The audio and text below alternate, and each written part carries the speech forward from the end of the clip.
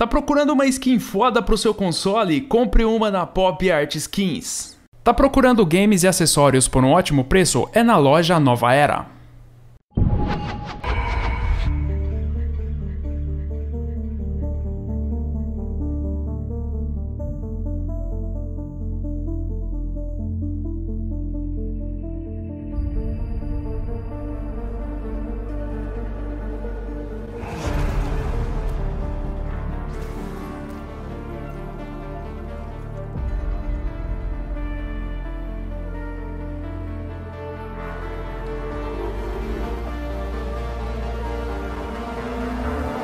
Pessoal, eu finalmente terminei Death Stranding, né? E eu gostaria de dar a minha visão sobre o game. Pessoal, vídeo de opinião. O que, que isso quer dizer? É só a minha humilde opinião, obviamente. Não é a verdade absoluta, eu não sou o dono da verdade. O que eu tô dizendo, galera, não é o veredito master final da galáxia, né? Se você discorda de mim, você pode comentar com educação. E eu sei que a maioria entende, né? Mas sempre tem aquela galera que vem xingar, que não sei o que, enfim. Antes de tudo, eu queria agradecer a PlayStation Brasil por ter fornecido uma cópia do jogo. Muito obrigado, PlayStation. Lembrando que eu não recebi antecipado, tá, galera? Eu recebi depois do lançamento, o que eu achei até melhor, na verdade, porque daí eu não tinha aquela responsa de trazer uma análise no dia do lançamento. Enfim, vamos lá. E aí, Giga, Death Stranding é bom? Galera, Death Stranding é um jogo espetacular e extraordinário, genial, brilhante, gráficos incríveis. Galera, é foda mesmo, mas com muitas, mas muitas falhas e defeitos demais, galera. Falhas no ritmo do jogo, falhas no desenvolvimento da campanha. É um jogo com altos muito altos, baixos muito baixos. E eu tenho certeza que a grande dúvida em volta do game e que muita gente está se perguntando é: eu vou gostar desse jogo? Vale a pena comprar?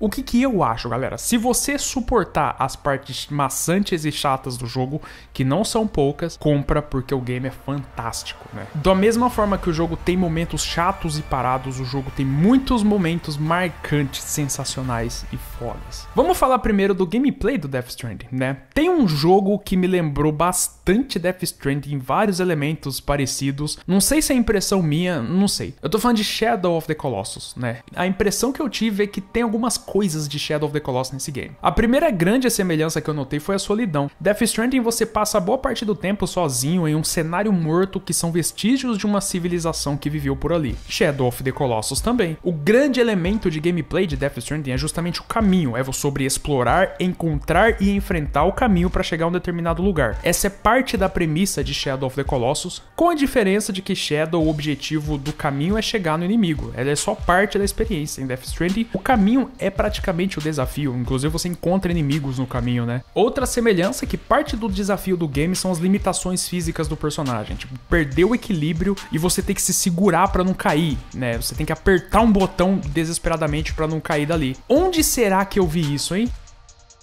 Um céu nublado? Hum, talvez algo que te diga em que direção os inimigos estão? Durr. Vocês concordam comigo, galera? Até que tem bastante coisa, né? Mas vamos lá, o jogo é só ficar entregando coisa mesmo? É um walking simulator? Afirmações bastante incorretas, galera, na minha opinião. Um walking simulator é você andar enquanto as coisas acontecem. Você só usa o analógico. Nesse jogo, você tem que traçar estratégia para enfrentar um caminho e carregar as coisas. Você tem que calcular muito bem o que você vai levar. Você tem que observar o caminho. Se o caminho é muito acidentado, quais equipamentos você vai levar. Porque os equipamentos também é parte da carga. Essas caixas que você vê nas costas dele, não é só a carga que você tem que levar no objetivo final. São seus equipamentos, as armas, os lances para encher a sua barra de vida, enfim. Se o caminho for de boa, você pode arriscar levar mais coisas. Se o caminho for mais acidentado, você leva uma escada, enfim. Lembrando que a chuva, ela estraga os equipamentos, então você tem que ser cauteloso. Se você inventar de levar muita carga em um terreno acidentado, você pode cair, a carga cair no chão e pode acabar atrasando mais algo que poderia ser mais rápido.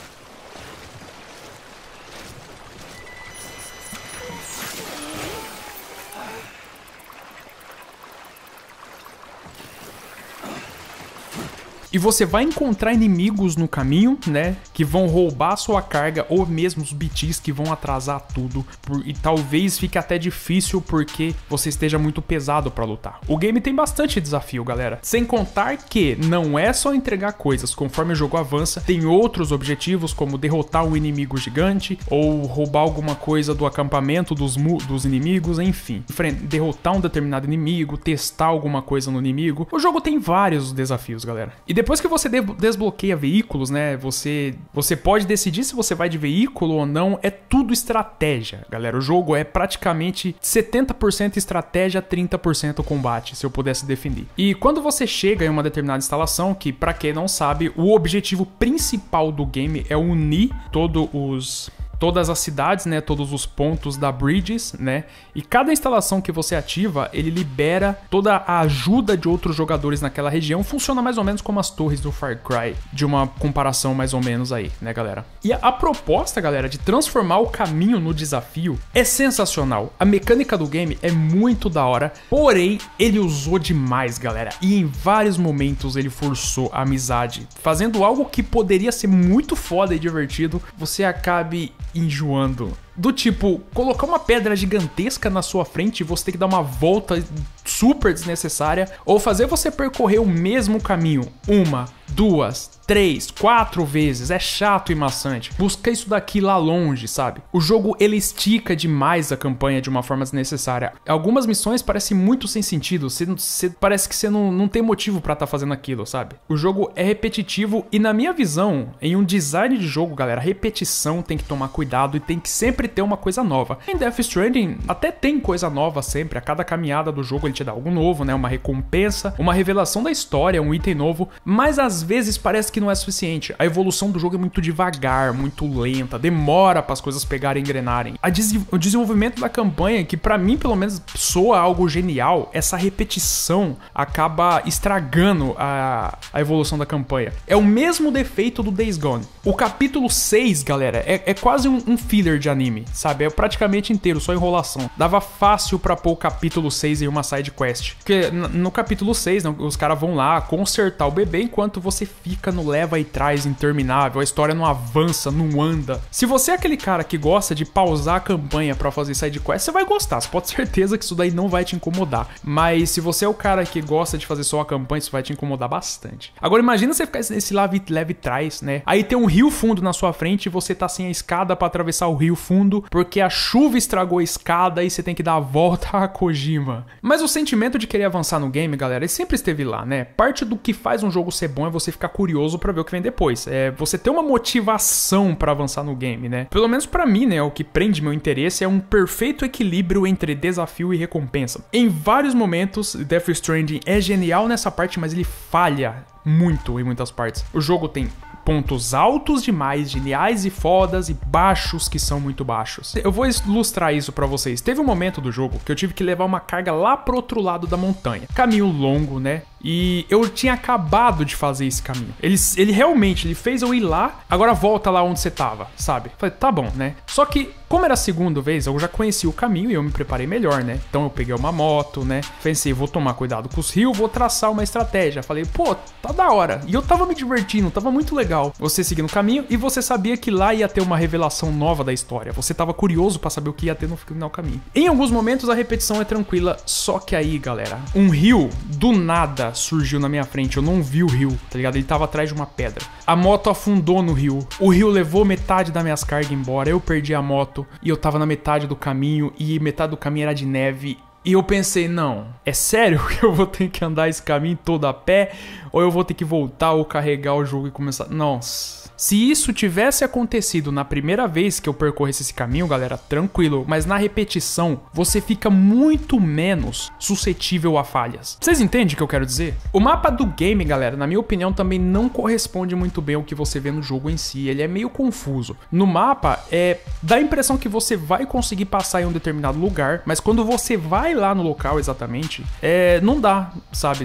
E isso é um pouco frustrante. O jogo meio que te engana de certa forma, né? E sabe o lance lance que o jogo aponta para você para onde que você tem que ir, tipo o famoso objetivo da história, né? Eu esperava que aparecesse na tela, né? Jogador de GTA jogando jogo de estratégia é assim mesmo, né? Ele espera que o mapa apareça ali apontando o caminho exato que você tem que fazer. Nesse jogo você tem que apertar um botão para saber qual que é a direção que você tem que seguir. Eu achei o mapa meio confuso, tanto quanto eu achei os menus do game bastante esquisitos. Eu fui dominar os menus do games, tipo, depois de umas 7 horas de jogo. O jogo parece que não mostra muito bem os botões, sei lá. E você tem que confirmar o que já confirmou de forma desnecessária. Por exemplo, você organiza todas as suas cargas, mas ainda assim o jogo pede que você confirme segurando um botão das cargas que você já organizou. Se você apertar círculo, você perde tudo que você fez. As letras também são bastante pequenas ao ponto de que eu tive que ir um pouquinho mais perto da TV para ler, apesar de que a minha visão já não tá mais aquelas coisas, né? Mas sei lá, eu nunca preciso fazer isso. Parece que o jogo quer mostrar que ele é 4K. Nossa, olha como eu sou 4K e consigo mostrar letras pequenas e sem perder a resolução tá ligado? E um monte de informação desnecessária, galera. É super poluído. Você deve estar tá vendo esse monte de letra aí, né, na tela e pensando, isso é útil? Galera, eu não leio metade. Não leio metade. Principalmente quando você passa e ele dá a nota lá, sabe? Eu não leio metade das informações, galera. Mas isso é uma característica de jogo japonês, né? Por mais que o game não seja ambientado no Japão, ele tem aquela carona de jogo japonês que você enxerga de longe. Uma tela cheia de letras e palavras e números para todo lado, informações que você não vai conseguir ler tudo. Aquele lance de querer dar nota pro jogador depois que ele cumprir um desafio, a lá Resident Evil, Devil May Cry, Monster Hunter. O lance de pular diálogos.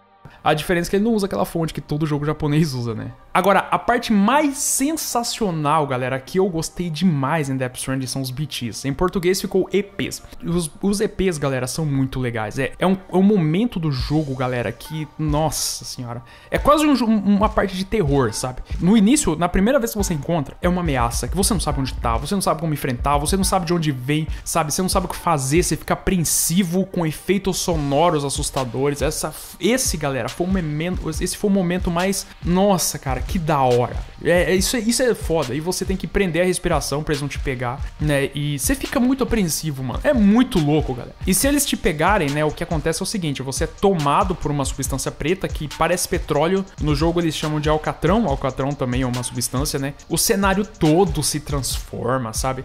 Porque e traz prédios e carros velhos, coisas que o esse líquido preto aí traz coisas que antecederam o Death Stranding, né, coisas antigas. E galera, e mano, o cenário tem toda aquela transformação de cenário que é, é lindo de ver, galera, é sensacional. E você é levado para uma espécie de sub-boss, aí você enfrenta ou foge, fica a seu critério. É de longe a coisa mais da hora do game. É muito foda, galera. Apesar de que eles não são tão desafiantes, é super de boa para você enfrentar eles, né? Então, eles não são um desafio real exatamente, né? Eles mais atrasam a sua carga do que, sei lá, mas é sensacional, é para mim um dos pontos altos do game. E falando em combate, né? Os combates reais do jogo eles são apresentados bem devagar. Começa com uma granada para jogar nos EPs, né? Depois tem uma tretinha ali com os, os inimigos dos acampamentos, né, e tal, que são chamados de mulas, né? E essa evolução lenta, galera, é bacana, é muito boa, não é um problema, né? Eu acho que faz sentido dentro do contexto do jogo que os combates sejam apresentados lentamente e traz uma progressão muito legal para a campanha. Progressão que é estragada com as repetições, né? Ela, a, a progressão ela é boa em teoria, mas devido elas são demoradas devido aos levas e trás desnecessários que o game que para mim estragou a evolução natural da campanha, sabe? Outra coisa que eu achei foda demais, assim, que, nossa, que da hora, que bagulho louco, são os cenários de guerra. Galera, é sensacional. É uma das simulações de guerras mais legais que eu já vi no jogo. O jogo tem uma conexão com a primeira, a segunda guerra, que eu não vou dizer qual é, porque seria um spoiler, né? Primeiro porque é super complexo de explicar e segundo que é spoiler. A jogabilidade com os veículos é mediana, mas tem um outro problema. O Kojima gosta tanto de cutscene, galera, que para você pegar a moto é meio que uma mini cutscene, velho. Não sei para que isso. É cutscene para pegar a moto, é cutscene toda vez que aparece o BT, aparece lá aquele aquela borboletinha abrindo, tá ligado? E falando em cutscene, a parte do quarto dele, eu também não gostei muito não. Lá é onde você toma banho, né?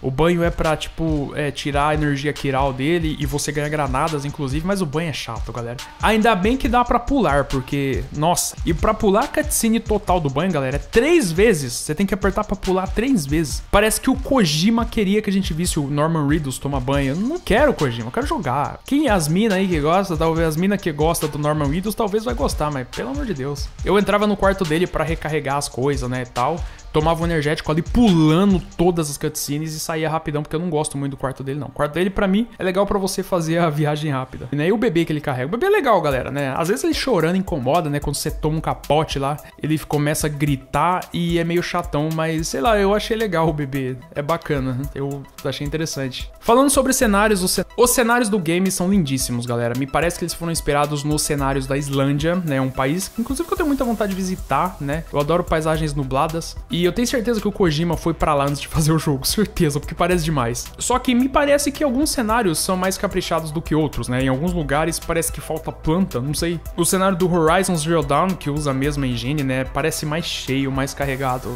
sei lá, mais completo. Eu acho que aqui, eu acho que um dos motivos é por causa das batalhas contra os EPs, né? Porque o cenário. Porque primeiro que tem que processar aquelas plantas crescendo e morrendo, né?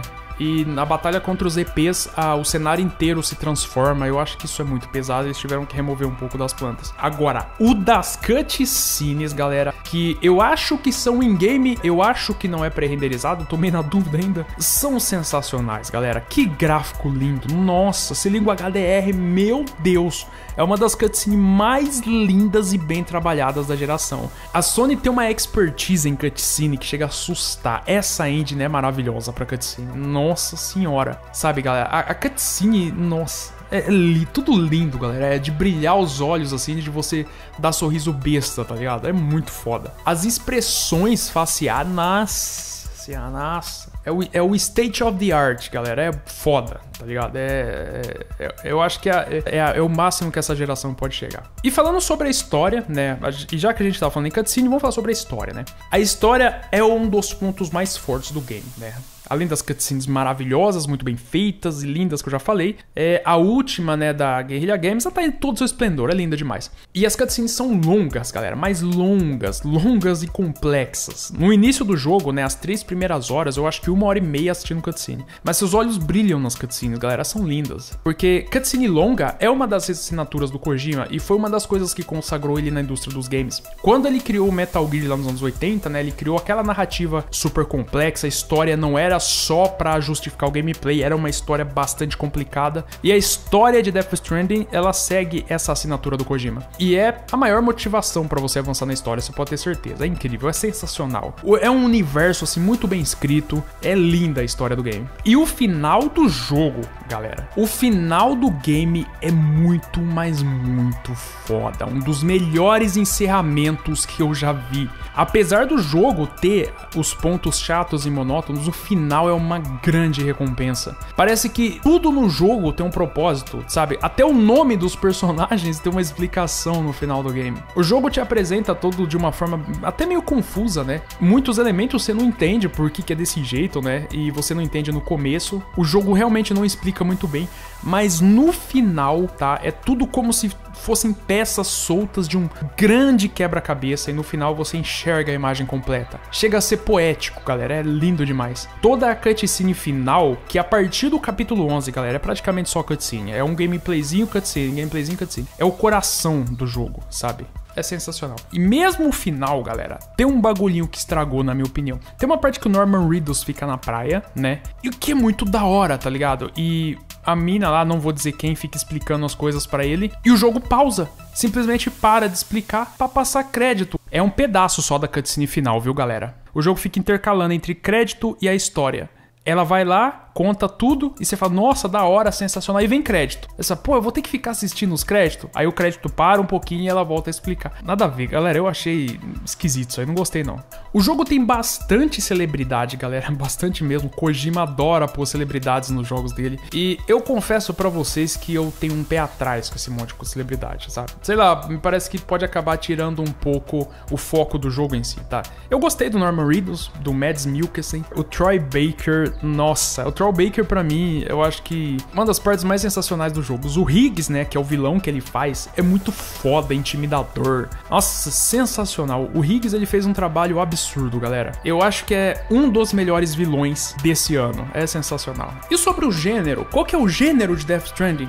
O Kojima, né, galera, ele falou que Death Stranding veio para inaugurar um novo gênero, e eu discordo, eu acho que o Kojima foi um pouco soberbo nessa frase. Eu acho que é perfeitamente possível encaixar Death Stranding em algum gênero que a gente já tenha visto, e na minha opinião, o jogo é de exploração com elementos de estratégia. E você vai encontrar um pouco também de sobrevivência stealth, eu ouso dizer terror. Ele também disse uma vez que o que faz Death Stranding ser um gênero novo é o conceito de multiplayer, que está sendo chamado aí na internet de multiplayer assíncrono assíncrono, né? Onde o multiplayer não é em tempo real. Só que eu não sei, eu acho que eu já vi isso antes, né? Onde que a gente viu esse negócio de vários jogadores se ajudando dentro de um game e de você poder avaliar essa ajuda de outros jogadores na série Souls. Eu senti uma grande influência das mensagens de Dark Souls, galera. Apesar de que o game evolui muito esse conceito, né? E isso é um mérito, porque ficou muito bom, né? Os jogadores eles te ajudam com coisas físicas, não só com mensagens, né? Então eu acho que ele evoluiu o conceito, mas não sei, as mensagens de Dark Souls também te ajudavam e às vezes até atrapalhavam, né? Você tinha que decidir se você confiava nas mensagens ou não. Mas o conceito de multiplayer assíncrono sobre outros players terem passado por ali, ele já tava lá. O que faz um jogo trazer um novo gênero, pelo menos pelo que o entendimento que eu tenho, não é só o jogo trazer algo novo, né? É trazer algo novo e que movimente a indústria e que cause um impacto nos jogadores e que seu conceito inspire outros desenvolvedores a fazerem algo parecido, de tanto que essa coisa nova movimentou a indústria. Super Mario não definiu o gênero plataforma side-scrolling só porque era algo novo, é porque era algo novo e foi popular e copiado, assim como Doom definiu o FPS, Devil May Cry definiu o hack and slash, o PUBG definiu o Battle Royale, o GTA influenciou mundos abertos, enfim. Mas Death Stranding é muito inovador, galera. Ele trouxe muitas coisas novas e tem que ser aplaudido pra caramba. Tem aquelas críticas do tipo, ah, Death Stranding é ficar andando que nem um idiota pra todo lado. Pra mim, na minha opinião, galera, era muito mais fácil e confortável fazer um jogo igual aos outros. Ah, tiro de corre, atira com cutscenes e acabou, sabe? Eu acho que, na verdade, esse é um. O, o motivo de Death Stranding ser diferente é um dos motivos que ele deve ser aplaudido e comemorado.